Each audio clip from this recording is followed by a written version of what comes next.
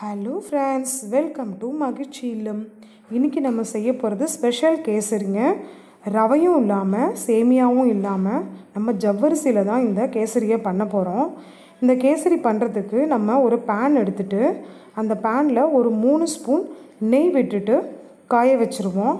இது செய்கிறதுக்கு முன்னாடி ஒரு ஹண்ட்ரட் கிராம் ஜவ்வரிசி இது வந்து மாவு ஜவ்வரிசி கிடையாது.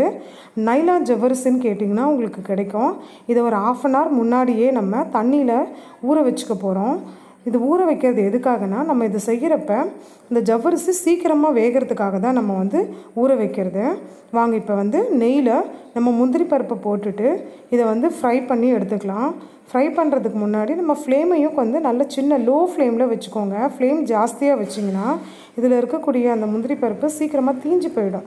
நமக்கு கலர் மாறணுமே தவிர தீஞ்சு போகக்கூடாது. அதனால் கலர் மாறி வர்ற வரைக்கும் நம்ம அதை அந்த நெய்லியே நல்லா ஃப்ரை பண்ணி எடுத்துக்குவோம்.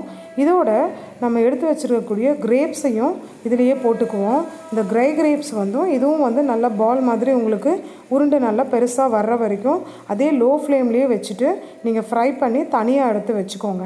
இப்போ வச்சுருக்க அந்த நெய்லியே நம்ம ஊற வச்ச இந்த நைலான் ஜவ்வரிசியை போட்டுட்டு ஒரு ரெண்டு வத வதக்கிட்டு இதோடவே நம்ம எடுத்து வச்சுருக்கக்கூடிய ஒரு டூ ஹண்ட்ரட் எம்எல் மில்க்கை இதில் ஆட் பண்ணிக்குவோம். நம்ம வந்து ஜவ்வரிசியோட இந்த மில்க் வந்து முழுகி இருக்கணும். அந்த மாதிரி இருக்க மாதிரி பார்த்துக்கோங்க. ஃபுல்லாக உங்களுக்கு அப்போ தான் வந்து அந்த பாலில் வந்து இந்த ஜவ்வரிசி நல்லா வேகும்போது அப்சர்வ் பண்ணிக்கிறதுக்கு சரியாக இருக்கும். பாலும் நான் எடுத்துருக்கிறது நல்லா வந்து க்ரீமி பால் தான் எடுத்திருக்கேன். ஸோ இப்போ வேகிறதும் நம்மளுக்கு வந்து சீக்கிரமே இது வெந்துடும் உங்களுக்கு என்ன ஊற வச்சுருக்கோம் இல்லையா? அதனால் இந்த ஜவ்வரிசி. ஊற வைக்காமையும் நம்ம இதை செய்யலாம். ஏன்னா டென் மினிட்ஸ்லேயே முடியக்கூடிய அந்த ஸ்வீட் வந்து இன்னும் ஒரு டென் மினிட்ஸ் ஆகும். அவ்வளோதான் இப்போ பார்த்தீங்கன்னா நல்லா வந்து வெந்து வந்துட்டுருக்கு பாருங்கள் வெந்துட்டு இந்த இது வந்து ஜவ்வரிசி உங்களுக்கு நல்லா முழுசு முழுசாக அப்படியே நல்லா வெந்து வரும். வெந்து வர்ற இந்த டைம் வந்து நம்ம கேசரி பவுடர் பவுடர் வந்து நம்ம கேசரி செய்கிறதுக்கு நார்மல் கேசரி செய்கிறதுக்கு போடுற அதே கலர் தான் நான் இப்போ போட்டிருக்கேன். உங்களுக்கு அப்படி கேசரி பவுடர் வேண்டாம் அப்படின்னா குங்குமப்பூவை கொஞ்ச நேரம் முன்னாடி தண்ணியில் இல்லை பாலில் வந்து நம்ம ஊற வச்சிட்டோன்னா இந்த கலர் நமக்கு கிடச்சிரும். ஸோ அதையும் நம்ம கூட ஆட் பண்ணிக்கலாம். ஆனால் நான் போட்டிருக்கிறது கேச கேசரி பவுடர் தான் போட்டிருக்கேன். ஸோ இதை போட்டுட்டு நம்ம இதையும் கொஞ்சம் நேரம் நல்லா கலந்து விடுவோம்.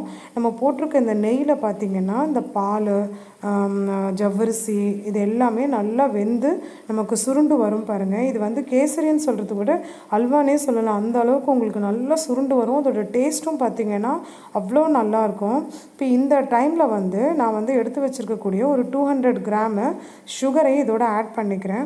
உங்களுக்கு சுகர் ஜாஸ்தியாக வேணும் அப்படின்னு சொன்னால் இன்னும் கூட நீங்கள் ஆட் பண்ணிக்கோங்க. நான் எடுத்துருக்கிறது டூ ஹண்ட்ரட் கிராம் தான் எடுத்திருக்கேன். ஹண்ட்ரட் கிராம் ஜவ்வரிசிக்கு டூ ஹண்ட்ரட் கிராம் சுகர் எடுத்திருக்கேன். சுகர் பாருங்கள் நல்லா மெல்ட் ஆகி அப்படியே லிக்விடாக வந்திருக்கு. இது எல்லாமே நல்லா சேர்ந்து வரட்டும். சர்க்கரையும் நல்லா வந்து இதில் நல்லா கரைஞ்சி வரட்டும். நமக்கு ஜவ்வரிசி வெந்ததுக்கு அப்புறமா தான் சுகர் ஆட் பண்ணும். முன்னாடியே சுகர் ஆட் பண்ணோன்னா ஜவ்வரிசி வேகாமல் போயிடும். அதனால நல்லா வெந்து வந்ததுக்கப்புறமா நம்ம சுகரை ஆட் பண்ணிக்குவோம். இது நல்லா வெந்து சுருண்டு வரும் பாருங்கள் இதிலேருந்து இருக்கக்கூடிய அந்த நெய் வந்து தனியாக பிரிஞ்சு தனியாக வெளியில் வர்றது நமக்கு நல்லாவே தெரியும். இந்த டைமில் வந்து நம்ம ஏற்கனவே ஃப்ரை பண்ணி வச்சுருக்கோம் இல்லையா? அந்த முந்திரி திராட்சை இது ரெண்டுத்தையுமே இந்த டைமில் நம்ம ஆட் பண்ணிக்கிட்டோன்னா சரியாக இருக்கும். உங்களுக்கு ஏலக்காய் வேணுனாலும் டேஸ்ட்டுக்கு போட்டுக்கலாம். இல்லை வெனிலா எசன்ஸ் வேணாலும் கலந்துக்கலாம். நான் ஆனால் எதுவும் போடலை. வெறும் இந்த வறுத்து வச்சது மட்டும்தான் நான் போட்டிருக்கேன். இப்போ போட்டுட்டு கொஞ்சம் நேரத்துலேயே பார்த்தீங்கன்னா அந்த கரண்டியில் கூட ஒட்டாமல் அப்படியே சுருண்டு வந்துடும் இதை நீங்கள் வீட்டில் இருக்க சின்ன சின்ன ஃபங்க்ஷனுக்கோ வீட்டில் பர்த்டே ஃபங்க்ஷன் அந்த மாதிரி டைமில் கூட இதை நீங்கள் செஞ்சீங்கன்னா கண்டிப்பாக வந்து எல்லாருக்குமே ரொம்ப பிடிக்கும்.